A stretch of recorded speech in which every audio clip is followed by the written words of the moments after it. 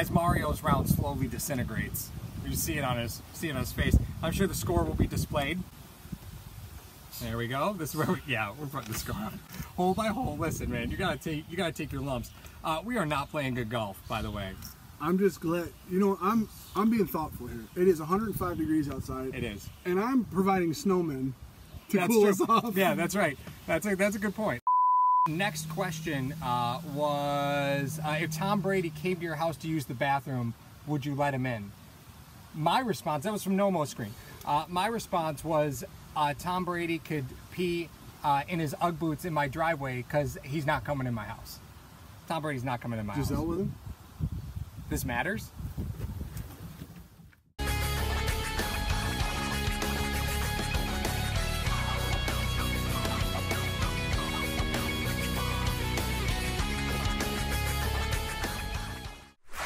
Subscribe and ride with us on YouTube, and don't forget to check out live play-by-play of the Bills season coming up on Sportscastr. So uh, we're at uh, Diamond Hawk Golf Course. Yes. Uh, squeezing in nine holes. Those of you who've never been to Diamond Hawk, it's over by the uh, Buffalo Niagara Airport. Fun place, nice course. Good times. Um, and uh, electric carts because we can't do this show uh, filming while we're driving in gas powered carts. Looks like Carl Spackler. Should really start here to go still. He's got about 395 yards. You can use a seven iron. All right, so uh, let's chat a little bit about position battles at uh, training camp. So um, this was a question brought in. I'll look it up. Mario put it on the bottom of the screen. It's 100 degrees outside. I'm starting to get heat So stroke. hot, yeah. yeah, it's it's hot. Um, Camp so- battles. Yeah, I'm. I'm I, should the obvious one be the O line? I mean, I'm very interested to see how the guard rotation comes out. Who comes Oh, out yeah. first, second? That's going to be probably one of the most talked about things that are going on. Is the camp. Who's starting? Who's rotating in? What's going on? Mm-hmm. Yeah. Expect that front five, the first five, to get in there as fast as possible. I believe it, dude. I believe don't it. doubt that, dude, because uh, you know, last offseason McDermott kept talking about 10,000 reps, right? That's what he wanted. He wanted 10,000 reps, 10,000 reps, 10,000 reps. And if you're playing, you know, if you're playing the Cupid Shuffle with your O line, right? You're you're, you're sacrificing reps, and that's what we saw at the quarterback position last year, right? It was three guys just stealing reps from each other, and you don't want that. You just can't have that from your O line. So. especially when the guy that was taking a lot of majority of the first team reps, you ended up getting rid of after the Bears game. Well, let me ask this. So, do you think that a new O line coach is going to make the team more decisive? It depends if, that, if that's their mindset going into camp. It's like, listen, you mm. gotta you gotta set these front five up right away. Okay. All right, and then there might be a little sleight of hand, a little bit of psychology with like uh, with some of the guys like uh, Quinton Spain. Yeah. expect him to start because he's, Okay. he's that good. You may put him on the second team. Right. Maybe he needs a little motivation. Sure. You know, maybe maybe that thing. Maybe Waddle gets put on the second or third team for his, a little motivation for him. But I, I'm, I'm interested. That's why the battle's so interesting to me because I'm interested to see will a guy from who's taking third team reps emerge as a starter. Okay. And yeah. that's possible. That's the way McDermott likes to cut it. You, Yeah. you have to earn your spot. yeah, you're right. You're absolutely right about that. So the wide receiver position is the one that's curious to me, although the cornerback position is really the most curious.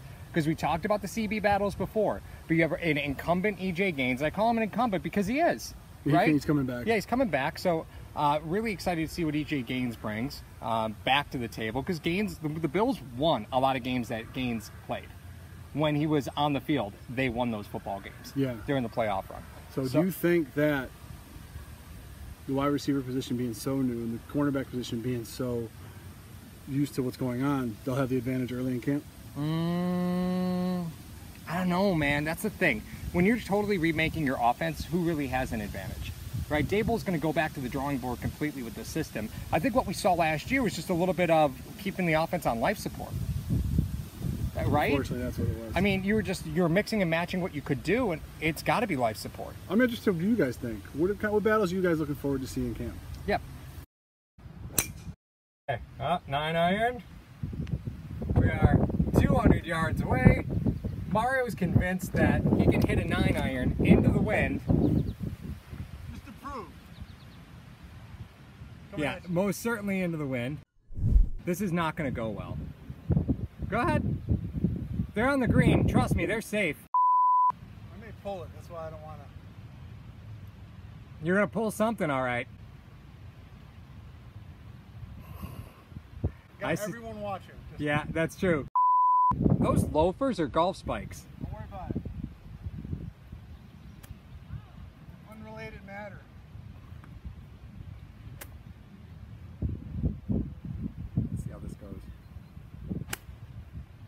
That's a lot of air. All right. Well, let's see where that ended up. Whatever.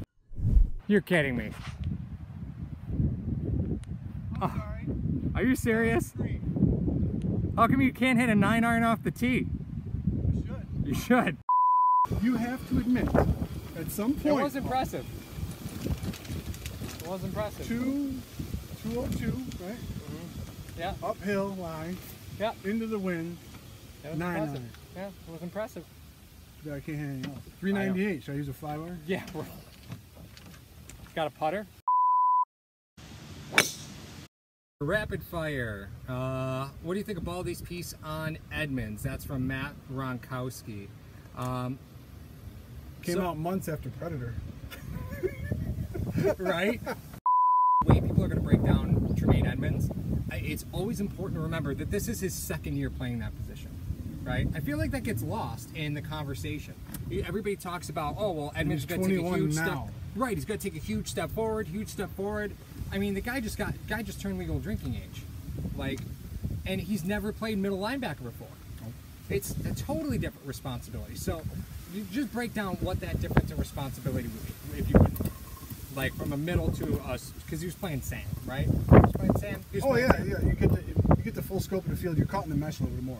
Sam, you're you're all on an island. You got you probably have to cover a little bit more. If Yeah. you're a, if you're a Mike linebacker or the Mac or however many different names they call them all the time, um, your responsibilities are quarterbacking the entire defense. Mm-hmm. So number one, you got to be a leader. Number two, you have to be able to know where everyone's position is. Because sometimes if you're a Sam or a Will or something, do you have to know a, a few positions? Yeah, you got to know Yeah. Mike needs to know everything. Yeah. And and the concepts that are asking Edmunds to do are not really simple concepts. Um, you start talking about the cover, uh, the Tampa two. Uh, you know, when they go to nickel, he, he then moves into a position that he's familiar with, and they go to nickel because he's on the outside, um, or he can move to the outside. So that all encompassing in, the kid's taking it pretty well. I mean, the guy had 120 tackles rookie season. That's amazing, uh, and he's only 21 years old. So Right. He is, by all accounts, a beast. Yeah. He is a beast. Right. Paul's on the hunt for golf balls. No idea why.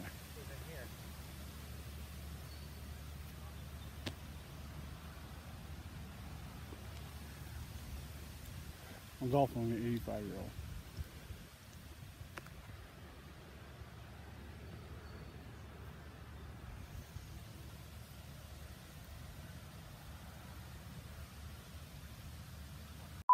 You guys want to see what the feet looks like? Yeah. Just chipped in for par. That's right. Chipped in. But not just chipped in. This is this. This is how much of a he is. He goes, wow, dude, I get a 60 degree wedge downhill and it's fluffed up. What am I gonna do?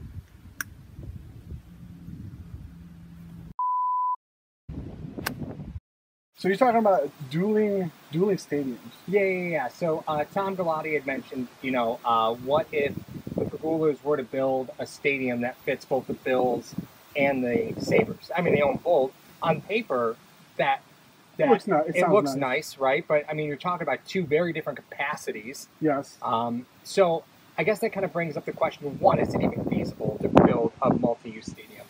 Um, and two, you know, where would it be, right? So my my first counter to that is if you want to kill the Sabres, you go ahead and build the go ahead and build the arena in Orchard Park, and it'll kill the Sabres. It will. It'll That's kill the Sabres. here. Yeah. No, I mean that. You bring up a good point. It would effectively kill the Sabres. Oh yeah. A lot of the attendance. It's not NFL attendance. Right. Number one. Number two is that the the, the, the seasons overlap. I mean, Sabres are playing games when I mean October, and November for the Bills. Like, what are you going to do on the weekends? Yeah, it's. I think. I think the. Uh oh. Man down. Yeah, it's. I mean, a dual-use facility sounds good, but you're right. I. I mean, I'm sure the NFL, the NHL could cater to the no games on Saturdays and Sundays, but then that means moving the Bill Stadium to downtown, and I, I don't know too many people that are signing up for that. You? Are you signing up for that? Uh, I'm not. Yeah. I'm not. sir. Please replace your divots. No, they don't want to replace your divots. Don't replace them. See, if you'd have hit the little ball before the big ball, that wouldn't have happened. Oh my god. We observed Paul, 288 from the hole, hitting his second shot off the ladies' tee box. Uh-oh. That could be trouble. That cannot be good. All right. X that killer X, Matt Matt X. X. Yeah. going to give it to you? I All right. understand why you're failing math now, son. That was that's Yeah. funny. We can put that on the screen. I'll put the meme up. Okay, Meme's all right, amazing. Uh, so, is there? Uh, let me see. Beane and McDermott have changed almost the whole offense and added the defense. Added the defense. If you were Beane, what is the one more position you would add slash change on this roster? I, I, I'll I'll do both. Okay. If I was going to add a position, I would add another tight end. Unless Okay. they're happy with the, the progress that Knox, Yeah. Sweeney, and them guys will make. I mean, because you lose your tight end, the first guy you sign in the offseason, one of the first guys you sign in the offseason. That's Yep. huge. Uh, what I would change is that I don't think you need a fullback anymore. Yeah. DiMarco is a captain. He plays a lot of special teams. I understand that. However, that position is not no more. Right. Like, it's no more. You can get a younger guy in there that costs about six hundred fifty thousand. You don't need to pay DiMarco two million. Well, I mean, But if they cut him, it's a wash. yeah, but wouldn't wouldn't you just use Gore in the DiMarco role? he won't play it? It's, it's Why? you're wondering. You're gonna be in a if, two-back if you want a veteran that a guy, guys look up to, and you, you're gonna push, put him on special teams after he's not played special teams in his career. yeah, but putting Almost seems like a demotion. No, no, right? no. I'm talking about putting Gore in fullback sets on the offense. I'm not talking about making him play special teams. I'm talking about putting him in Oh. two back sets as a I lead mean, you back. could. You put Gore back there with Singletary and kind of guide. any combination of. All I'm saying is, you, any combination of those guys Mm-hmm. would work. Yeah, I don't know how, how good is a. You know, Gore could pick up a blitz. yeah, right. So in that respect, you're saying that. be- Okay.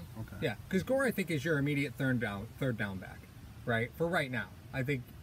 You know, you look at it Yeldon? saying, I mean, Yeldon, I suppose, but I don't know how good Yeldon can pick up a blitz. He went to Alabama, and then went to Jacksonville.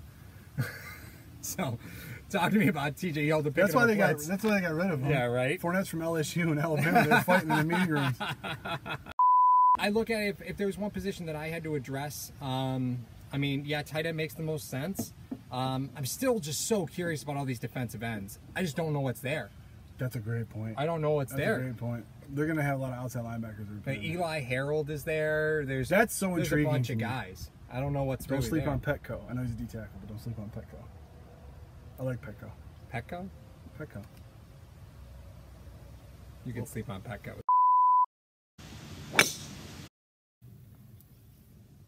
What?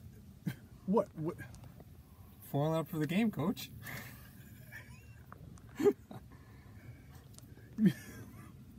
He just did a hockey reference on a golf course. That's right. What are you What are you doing? Four up for the game, coach. Who are you? Triple H? What are you doing? Well, it's all about the game. Paul Paul stroked one about 270 down the pipe. As, as did I. Yeah, yeah, yeah. Those solid shots. Am I in the bunker? I think it might have made it to the bunker. Let's find out, shall we? There's there's Oh, ah, oh, oh, oh! We're gonna have to find out who drove. We need, Let's go. We need a ruling on Let's this. go. We need a ruling on this. Oh, oh, yes, sir. There's one there. Now go. He outdrove me, but he didn't know I just did. I used a half swing. All right, you gotta get the pythons. Look at this. Woo! Oh, look at my thumb on that. My thumb covered up your python. Get out.